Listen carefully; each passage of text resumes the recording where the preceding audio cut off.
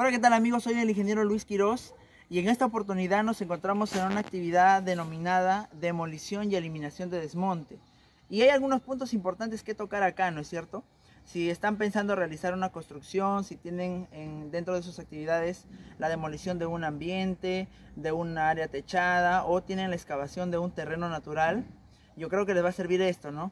Eh, quisiera empezar contándoles que cuando uno demuele toda una construcción de concreto, normalmente el volumen se expande al triple. Entonces, si nosotros vamos a demoler, un ejemplo, 10 metros cúbicos de concreto, tendremos que botar aproximadamente 30 metros cúbicos de concreto. Esto es para todo lo que tiene que ver con demoliciones de concreto, eh, muros de ladrillo, etc. También, por ejemplo, cuando nosotros vamos a demoler, eh, vamos a excavar un terreno natural, ¿sí? Normalmente el terreno, cuando lo tenemos libre a la excavación, pues si vamos a excavar 10 metros cúbicos, las buenas prácticas nos dicen que va a esponjar este material, ¿no? Porque al estar en un estado natural se, encuentra compactado. Cuando nosotros lo excavamos va a aumentar aproximadamente en un 30%. Esto depende también del tipo de suelo.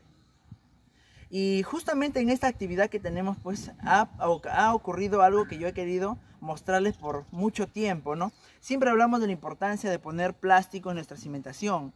Y en esta oportunidad, mis queridos amigos, tenemos una zapata que hemos sacado, pues, hemos sacado desde su estado natural, ¿sí? Que ha estado contra el suelo. Una zapata que fue parte de la cimentación de un tanque elevado. Y yo quiero que vean esto, amigos. Como podemos apreciar, amigos, nos encontramos pues con una superficie totalmente irregular, ¿no? Este concreto fue vaciado contra el suelo. Eh, como podemos apreciar, este tipo, esta práctica pues nos deja eh, un concreto de muy poca calidad, ¿no? Siempre nosotros este, hablamos que cuando vamos a utilizar un concreto, ya sea para una cimentación o para una para columnas o para vigas, pues ya no utilizar este tipo de piedras, ¿no? Como podemos apreciar, fíjense los problemas que ocasionan, ¿no? Como podemos apreciar, el concreto no entra, ¿no? Esto genera algunas eh, cangrejeras, denominadas cangrejeras, que pues no, nos dan un concreto de muy buena calidad.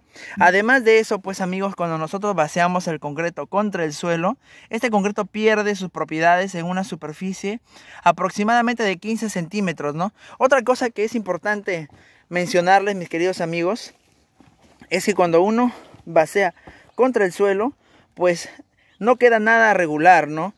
Como se puede apreciar, supuestamente esto era un corte vertical, ¿no? De la cimentación, pero no termina haciéndolo debido a que no tenemos el control adecuado pues para, para la excavación y menos aún pues tal vez a muchas, muchas oportunidades se utiliza un concreto de menor calidad y como podemos apreciar esta es la forma que queda pues cuando nosotros vaciamos contra el suelo miren contra el suelo natural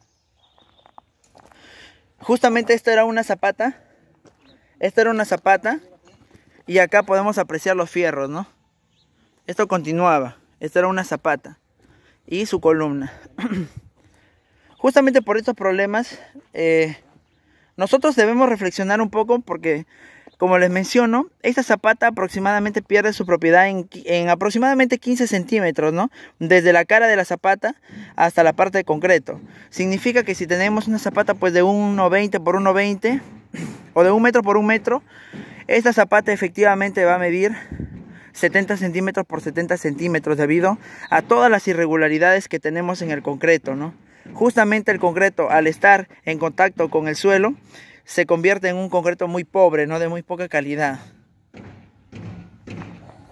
Como podemos apreciar, ¿no? Y mis queridos amigos, lo que siempre les digo, ¿no? Utilizar estas piedras grandes genera muchas cangrejeras internas y eso sí genera mucha humedad y oxida pues los fierros, ¿no? Que normalmente estas zapatas siempre tienen fierros de construcción o varillas de construcción de refuerzo.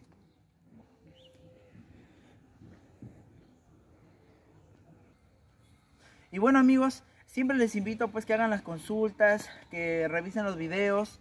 Para mí siempre es un gusto pues compartir lo poco que se puede hacer en mi vida profesional, porque sé que les puede servir a ustedes que están eh, eh, pronto a comenzar un nuevo proyecto de construcción.